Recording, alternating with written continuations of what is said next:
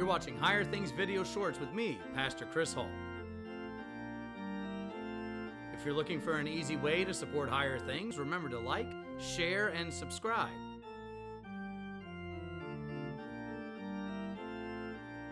Also, hit that bell notification icon so you don't miss any Higher Things content. You can follow Higher Things on social media and our website over at www.higherthings.org. Love what we're doing in Higher Things, we ask that you remember us in your donations and prayers. Inconceivable words. Today we are covering a word that I believe is misunderstood. A word that is used sometimes to explain things, and it's not that it's wrong, it just doesn't have the depth to it. And it's a word that's been rediscovered in our Missouri Synod lately. President Harrison wrote a book on it, I think a couple books even. I love using it. It's the word joy. Joy. J O Y. Joy. What is joy? What does it mean to be joyful? What does it mean to rejoice? What does it mean to have joy? Now, most of the time, people kind of interchange happiness and joy, being happy with being joyful. And a lot of guys are like, well, we shouldn't do that. It's not the same thing. It's the opposite. You should never talk about being happy with being joyful. And I disagree. I really do. What does it mean to be joyful? What is joy? Joy is a deep rooted essence and existence. It is the reality that we have been and are claimed by Christ Jesus, rescued, ransomed from sin, death, world, and the power of the devil. And because of this, we have now been given a disposition, a certain demeanor of joy, meaning no matter what happens to us, and this is the difference slightly between joy and happiness. Happiness is when you're reacting to something. You're happy when things are really good.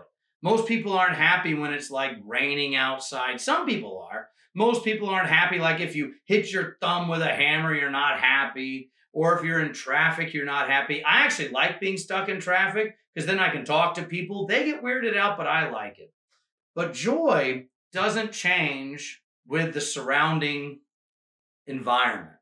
It doesn't matter what's happening to us, we still have joy we still have delight. We still have this demeanor and disposition of taking pleasure in the things of God, in the things of this world.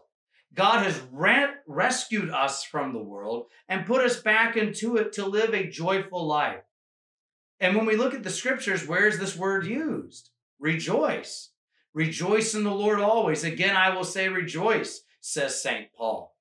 When the angel Gabriel came to Mary, he said, Rejoice.